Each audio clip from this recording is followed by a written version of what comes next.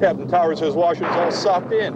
We'll never be able to land. Uh, sir, Bob Ryan's predicting clear skies. But Captain Towers says the storm's getting worse. Bob Ryan's predicting clear skies. Look, the tower says there's zero visibility. Bob Ryan's predicting clear skies, sir. Captain, you've got to make a decision. The tower or Bob Ryan. Boys, we're going with Bob. Watch Channel 4 weather on Channel 4 News, weeknights at 5, 6, and 11, and go with Bob. Good choice, sir.